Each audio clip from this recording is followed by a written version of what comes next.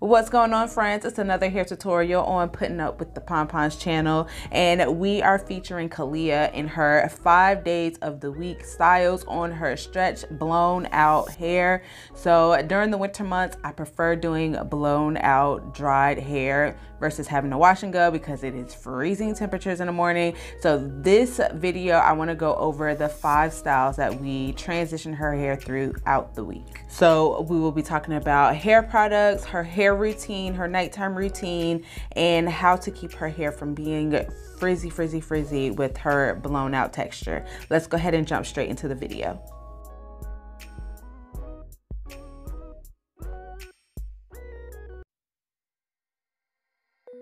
If you're new to our channel, hey, how you doing? And don't forget to hit the subscribe button. So I want to do a small introduction on Kalia. She is my oldest daughter of the Ponpon sisters and she represents type 3 curly hair. So I started her healthy hair journey about two years ago when I started doing our YouTube channel and it's really helped me focus on caring for her hair properly as well as learning what are the do's and do nots when taking care of her hair.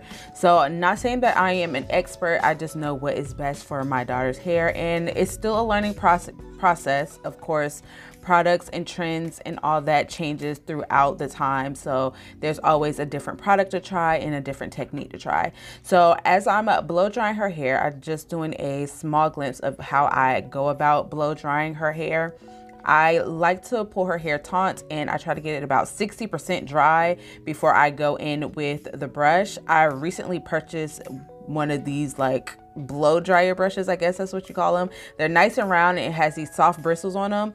I um, try to use brushes that are soft bristle. I don't really care for using paddle brushes on her hair. Um, even though her hair is in this blown out texture, I won't experience a bunch of tangling, but I was really surprised that this brush did really, really good. She didn't have a whole bunch of tugging and pulling. And plus I listen for my daughter's cues when she feels like her hair is being pulled the wrong way, or if anything is causing her pain, she has no problem letting me know.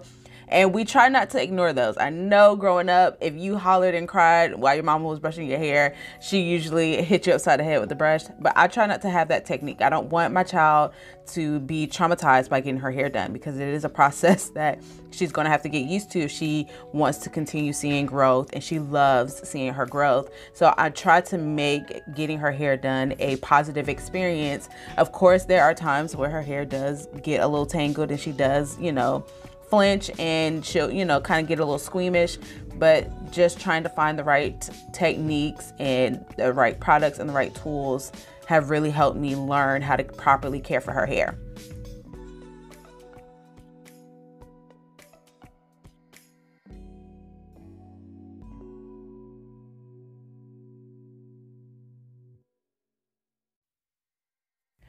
All right, so let's talk about the products that I used. I went in with the Flawless by Gabrielle Blow Dryer Cream. And after I blow dried it and got it completely dry, I went in with the oil.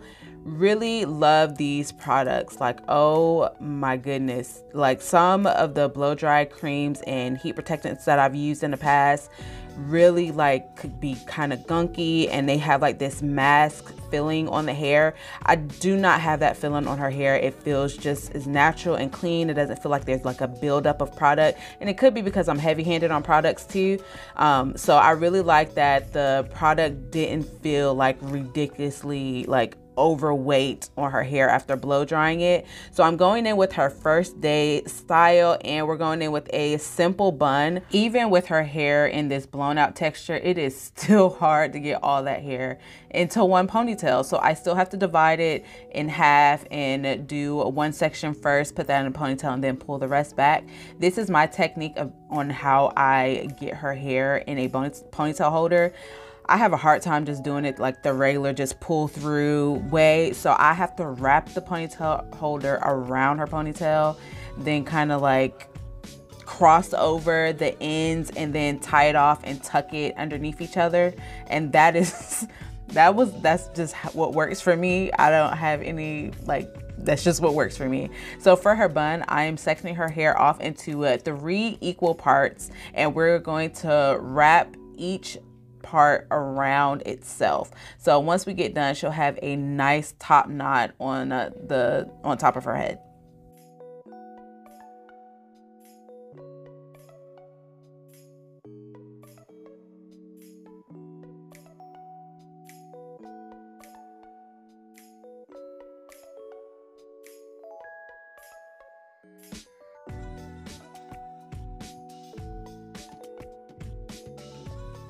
I'm gonna wrap her hair up for the night because she is getting ready for bed. And then in the next morning, we will finish off her bangs to prepare her for her school.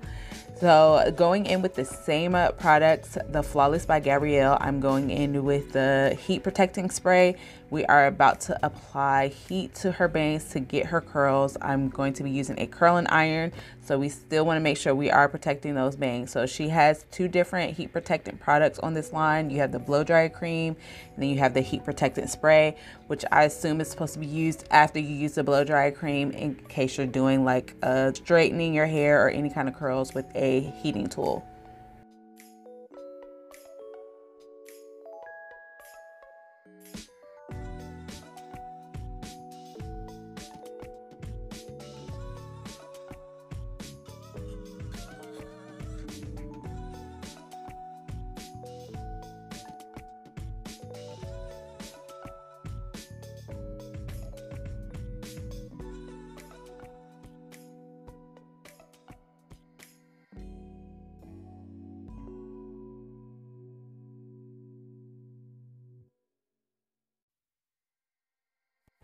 This is the reveal of her look. She is all ready for Monday's wonderful day of school. We're kicking off the school week great. Now for her second day, she came home and I took the bun out and I was really loving the body waves that her curl or the bun created in her hair. Like it looked, she had like a nice little body wave bantu knot, you know, going on. So I decided to do a half up and half down. And then that piece that we used as the bun bang, I'm sorry, in her day one look, I just took that and wrapped it around her top ponytail. And there you have it for day two. So simple and easy. It took me five minutes to do her look. She is ready for day two of school. Go ahead and kick off Tuesday. Now let's jump into Wednesday. So Wednesday, Kalia has a karate class. So we try to do uh, looks on her that aren't going to get in the way because she's going to be very active. She's going to be running around and jumping around and all that good stuff. So I decided to go with the two uh, ponytails and with her ponytails because I didn't want to leave all that hair just flying out in the wind and somebody might accidentally grab it or snatch at it or pull it. I'm going to be doing some poodle puff uh, ponytails, poodle puff ponytails on her hair.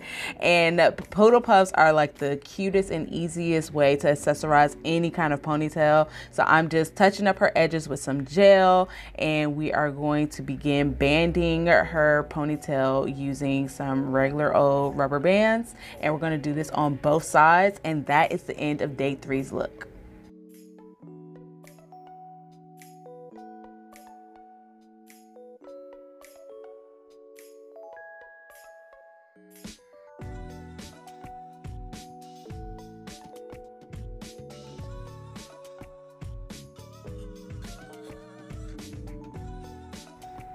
Now Kalia is ready to go kick some butt in karate class with her cute, adorable poodle puff ponytails.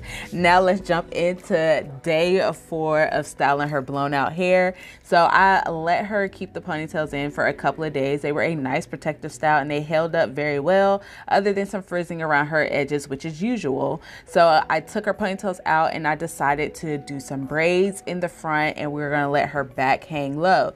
So going in again with some gel, I use the Let's Jam to part make sure her parts are nice and clean as well as touch up her edges. And I decided to do four simple cornrows in the front and we are going to leave the back half out My daughter loves having her hair out. I'm pretty sure it's just for bragging purposes so she can show the world how long her hair is because it's not too often that she wears her hair in this blown out texture.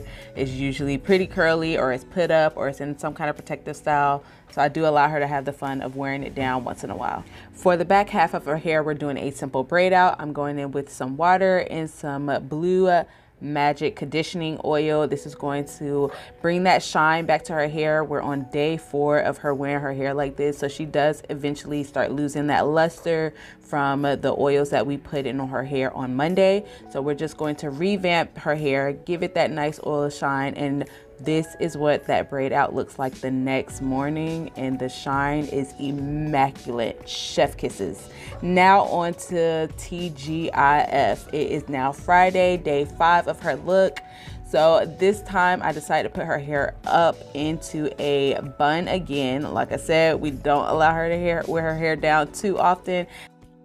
Kalia's hair has experienced a lot of manipulation through the week. So on Friday, we're just going to take it easy with a, another simple bun. So I am slowing down how I do the ponytail holder that I mentioned earlier in the video. As you can see, I just it's hard for me to get all of that hair through a ponytail holder. So I have to like wrap it around itself and then tuck it in to each other. Instead of parting her hair into uh, three separate sections. I'm only going to do two for this bun and pretty much our same technique in the beginning. We're going to roll the hair around and tuck it within itself and then secure it off with a bobby pin and she is ready to go for Friday.